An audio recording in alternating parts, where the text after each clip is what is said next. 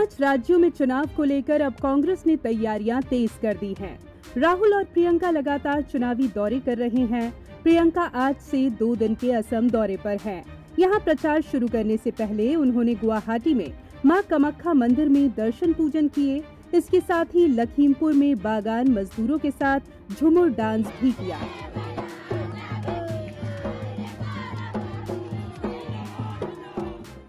वहीं राहुल भी तमिलनाडु में स्टूडेंट्स के साथ थिरकते नज़र आए।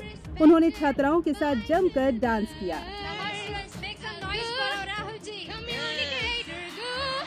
इस दौरान उन्होंने बीजेपी पर निशाना साधते हुए कहा कि प्रधानमंत्री नरेंद्र मोदी के मन में तमिल लोगों के लिए सम्मान नहीं है।